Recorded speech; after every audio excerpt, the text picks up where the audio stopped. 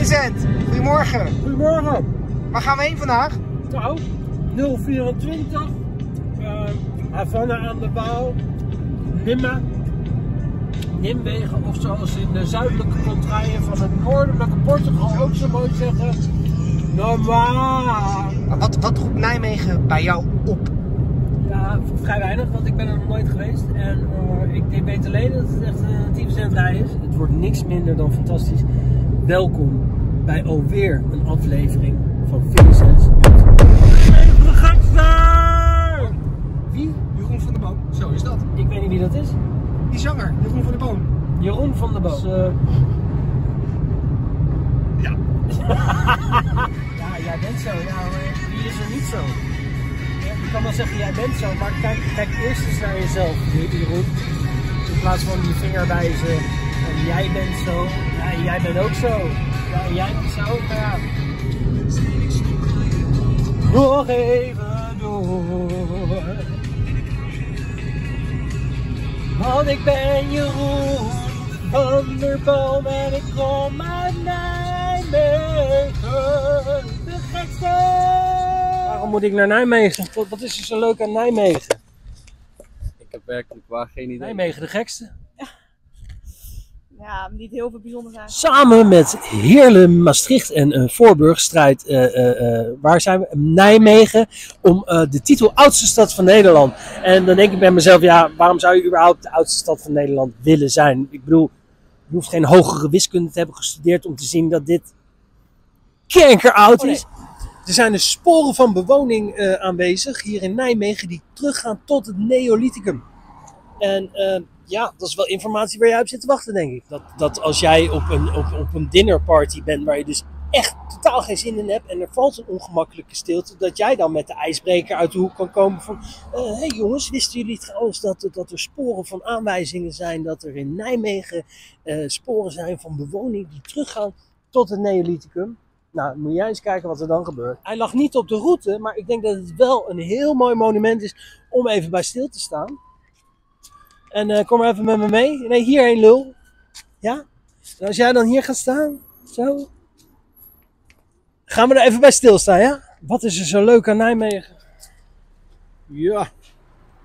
De ik kom hier ook alleen maar om wat boodschappen en spullen te halen, maar eh U haalt boodschappen in Nijmegen. Wat is er zo leuk aan Nijmegen? visboer, De visboer. plaatselijke visboer. En waar vind ik die? Dat we hier al eeuwen staan, dus dat iedereen ons kent. U staat hier al eeuwen. Ja. Het is niet aan je af te zien. Kronenburger Park, uiteraard bekend uit een nummer van Frank Boeien. En alleen de vogels vliegen van Oost naar West-Berlijn, worden niet teruggefloten, ook niet neergeschoten. Over de muur, over het ijzeren gordijn, omdat ze soms in het westen, maar soms ook in het oosten willen zijn. En het is dit nummer dat tot op de dag van vandaag de gemoederen hier in Nijmegen nog steeds bezighoudt. En voor een heuse tweedeling zorgt in de Nijmeegse samenleving. Want je hebt dus aan de ene kant heb je dus een kamp die zegt van ja, maar dit nummer dit gaat gewoon over een wandeling door dit prachtige park. Maar aan de andere kant heb je dus een kamp die zegt nee, nee, nee, nee, nee. Dit nummer gaat gewoon over een hoer die ook gewoon de centen wil verdienen. En dan denk ik bij mezelf, joh mensen, mensen, mensen, waar zijn we in godsnaam mee bezig? Het is gewoon een kutnummer. Ik dacht dat we hem nooit zouden tegenkomen, maar hij ligt er nog. De gevallen fiets van Nijmegen is dus een stad met een enorme rijke geschiedenis aan historie. Met Byzantijnen, Karel de Grote, Batavieren, bladibladibla. Maar ten eerste boeit dat echt niemand. En ten tweede, als ik daaraan ga beginnen, dan staan we hier volgende week nog. Dus ja, ik zou zeggen, pak je slaappillen erbij en ga maar lekker zitten. Nijmegen, oudste stad van Nederland. En dan hebben we hier het eh, levende bewijs van, dit zijn echt kankeroude parkieten. Eh, kijk ze zitten. Ze zijn zo stokoud dat ze bij zichzelf denken: van, flikker, loop jullie even mee, kijkertjes. Want kijk eens hoe oud deze stad is. Zien jullie die torenflat? Zo oud is die stad. Je voelt echt als je hier je hand zo oplegt, dat het echt dat je denkt: oh jezus, wat ben jij oud. Dan moet je zeker geen slippers aan doen. Sowieso, wie gaat er nou een Kronenburger Park eh, muur beklimmen? Dan ben je ook niet goed bij je hoofd natuurlijk. Ga die wereld uit. De Lange Hezelstraat, de oudste winkelstraat van Nederland. En ondanks het bombardement in de Tweede Wereldoorlog zijn heel veel middeleeuwse en vroegmoderne panden ongedeerd gebleven. Dus als die Duitsers wat beter hun best hadden gedaan, dan had ik hier niet meer hoeven staan. Alles is leuk aan Nijmegen. Alles. Ja. Ja, dat Ja, jij bent heel leuk en jij bent heel leuk. Ook al, ja. Waarom? Waarom Ik, ben ik eh, hier? Waarom ben je hier? Ik vind dat we een goede afwisseling hebben van alles. Dus we hebben een leuk stadsgedeelte, we hebben leuke winkels, mooie winkels, mooie straten. Je kan hier de brug overlopen en dan zit je bij het strand. Dus dat is ook Het ideaal. strand. Het strand, ja, de Waalstranden hierachter. Ja. Dus hier achter de Waalkade en de brug over, dan eh, zit je bij het strand. En daarom ben ik in Nijmegen. Ja, dat zou ik in ieder geval wel gaan doen als ik in Nijmegen was. Maar je loopt naar deze kant op. Ja. Wat wel leuk is om te vertellen, zijn de belangrijke verkeersaders van Nijmegen. En dat zijn A15, A73, E31, A325, A326, A738, N324, N325, N326 en 842 en 844 S100. Wat is er zo leuk aan Nijmegen? Je mocht je ontwikkelen, alles is raar. Alles is raar hier. Het is een hele radiale vermogen dat ik hier mag zijn, want alles heeft zijn eigen mogelijkheid in de lange ezel. Hier hangt de energie nog van wat er was. En wat er nog gaat komen. Altijd weer. Lekker bezig man.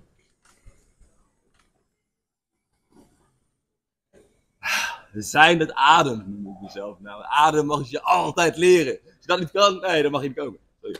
De reden om te komen, is gewoon is goed. En daar heb je geen eh, adem voor nodig. Een lange adem. Lang, lang weet je nog. Dank je voor de sfeer. Bye bye meneer. Tot de volgende Een keer. echt Nijmeegse wijsheden. Oh, sorry. En wie denkt dat wij niet literair onderlegd zijn hier bij Vincent Doet Nederlands, die hebben het mooi mis. Want ik ga nu een prachtig gedicht voordragen die wij hier heel toevallig aantroffen op een muur in de Jodenberg. Kijken in de tijd. Een herfstdag. Natuurlijk een herfstdag. Ik loop door Nijmegen, door de oude Lange Hezelstraat. Ik weet wat er gaat gebeuren. Wat alleen maar gebeurt omdat ik het weet. Maar stel ik het nog even uit. Natuurlijk loop ik hier even met mijn Vadia-dag. En heel veel mensen komen natuurlijk naar Nijmegen speciaal voor dit uitzicht over de Waal. Nijmegen was de eerste stad die werd aangevallen door de Nazi-Duitsers. En of je daar nou trots op moet zijn. Wat opvalt aan de demografie van Nijmegen is dat er in de leeftijdscategorie 20 tot en met 29 jaar 5% meer vrouwen zijn dan mannen. Dus dat is één dikke, dikke bonus. En twee, hartstikke interessant om daar eens naar te kijken en daar onderzoek naar te doen. In plaats van dat je al die extra wijven gewoon gaat neuken. We staan hier op het marktplein van een heel beroemd sprookje. Het sprookje van niemand minder dan Marieke van Nimwegen. Dat gaat dus over een wijf die van haar oom boodschappen moet doen op het marktplein in Nijmegen. En daar gaat ze een beetje lopen janken planken en om hulp roepen, omdat haar tante zo'n enorme kuttoer is.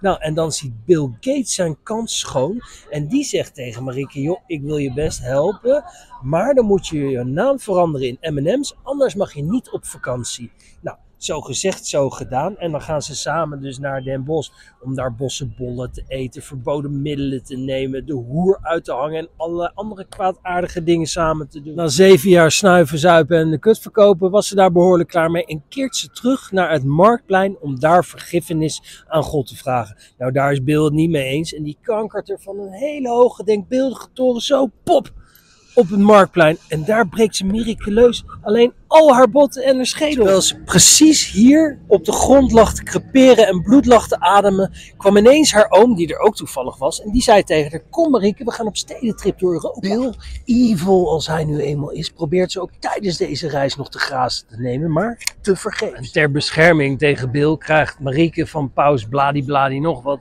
drie ijzeren kokrings. En als ze deze om de erecte lul van Engel Gabriel weet te werpen, zal zij van al haar zonden bevrijd worden. En beoefend, zoals Marieke nu eenmaal is, de hoer, is dit voor haar een koud kunstje. En bevrijd van al haar zonden gaat ze naar Maastricht om daar nog even de Burgondier uit te hangen en lekker de pijp uit te gaan. Vincent, maar Ja. hoe weet je dan eh, dat dit een sprookje is en nooit echt is gebeurd? Ja, nou ja, kom op. Het verhaal be- bevat een aantal fantastische elementen. Om er maar één te noemen, een duivel die, die eh, iemand vraagt om zijn ziel te verkopen om op vakantie te gaan. Ben je echt in Nijmegen geweest zonder een bezoekje te brengen aan de Stevenskerk?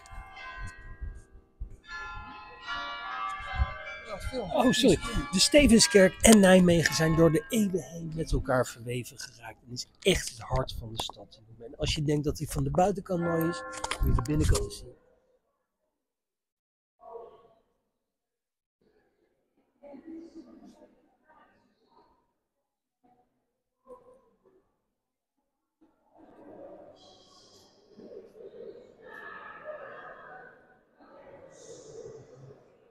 Je dat ook gefilmd?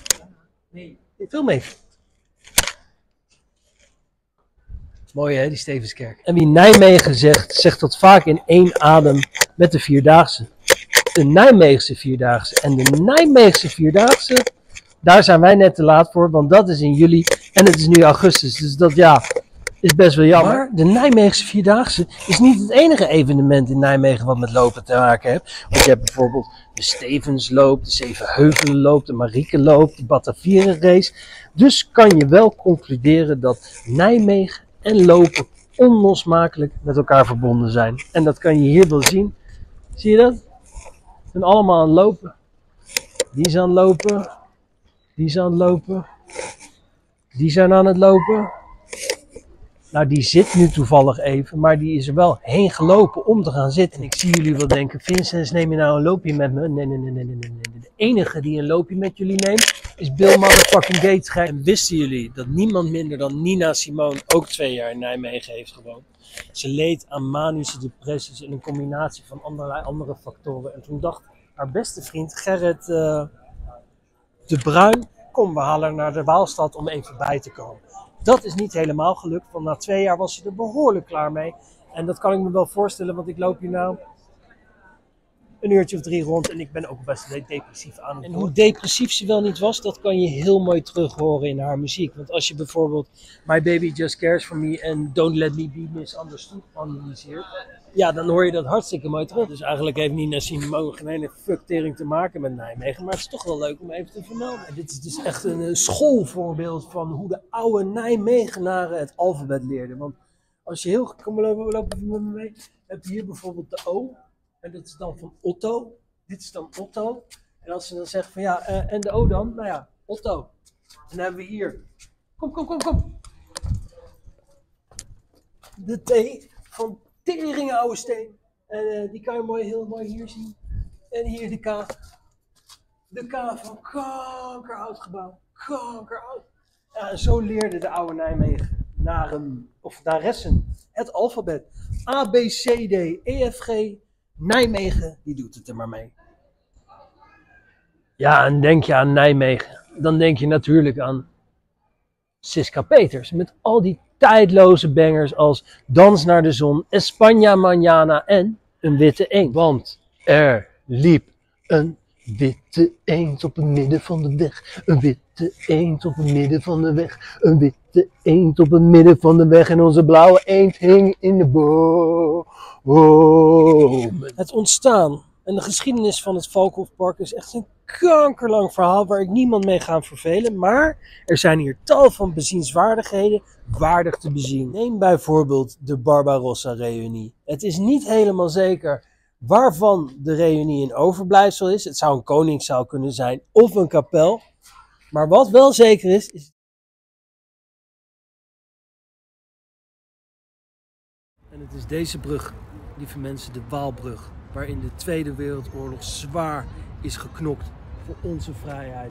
Bloed, tering, tyfus, aids, Polen, Scandinaviërs, de hele Godera-zooi hebben zich om die brug verzameld om voor ons te strijden, voor onze vrijheid. En dat mag ook wel eens gezegd worden, denk ik zo. Je kan wel zien hoe hard er is gestreden als je hier naar kijkt. En weg is die. En als je hier over het hek heen kijkt, dan zie je allemaal leuke bootjes en mensen gezellig wandelen, terrasjes. Het is één bonk gezelligheid hier achter het hek. Mensen, en ehm, om deze mooie dag af te sluiten hebben wij hier een, een plank met kazen en... Oh. En mijn geweldige vriend en cameraman Santé.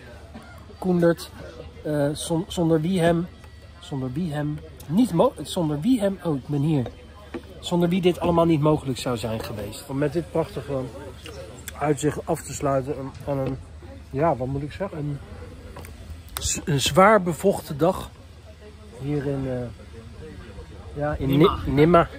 Ik, ik, ik ben diep onder de indruk. Ehm, ik heb ook wel heel veel respect voor gekregen voor het Nijmeegse aan zich.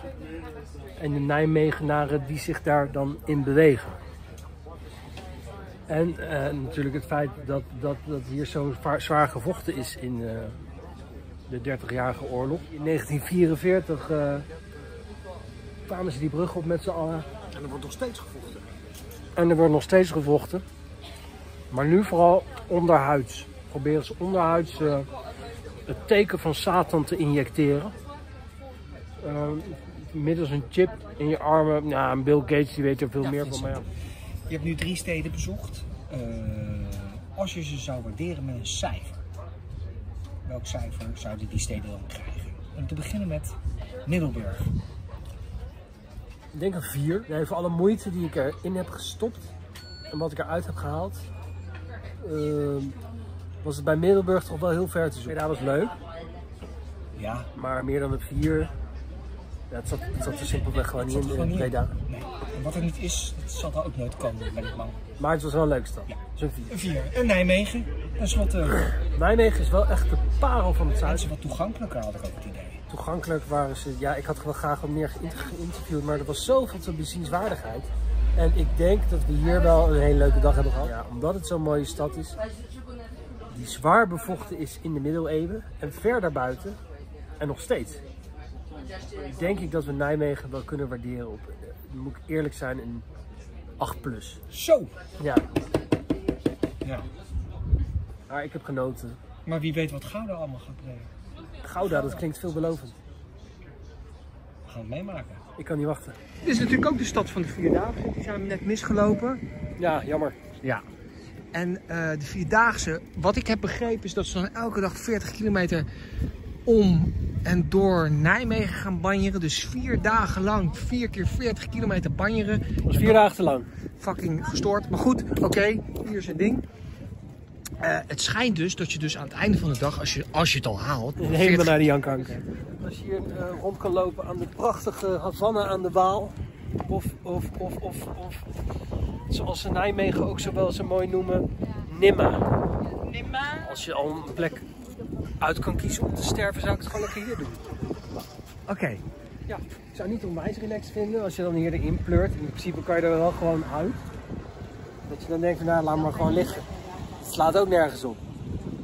Ik bedoel, als je gewoon kan blijven leven, doe het dan gewoon. Want het leven Ja. is te kort om niet te blijven Maar leven. voor- naar de Waal is natuurlijk een eh, bekend Nijmeegs... eh, Nijmeegs... eh, gezegde, nou, niet gezegde, spreekwoord, meer een gezegde. uitdrukking. Breng het naar de Waal. Dus breng al je sores, net als die wolf. Die breng al je sores naar de Waal, gooi het in de Waal en laat het daar ook maar gewoon. Nijmegen, je was de gekste. Je bent de gekste en je zal altijd de gekste blijven. En voor altijd in mijn hartje zijn. Nijmegen, je was fantastisch. En eh Nimma for life.